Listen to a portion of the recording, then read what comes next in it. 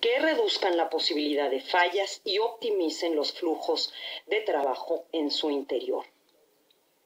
El acceso público y la democratización de los acervos sonoros y audiovisuales en ocasiones se ve condicionado por la necesidad legal de respetar los derechos eh, morales y patrimoniales que detentan los titulares y autores de los contenidos de un acervo.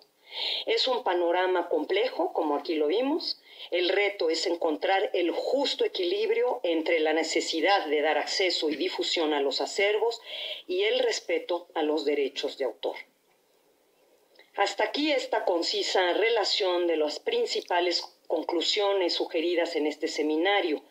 Una palabra que nos llega desde el latín que significa lugar donde se forma la semilla. Eso es exactamente lo que queremos hacer en estas reuniones. De los frutos traídos por los expertos de otras partes del mundo, extraen las semillas, extraer esas semillas, cuidarlas y entregarlas a otros, a muchos, a ustedes,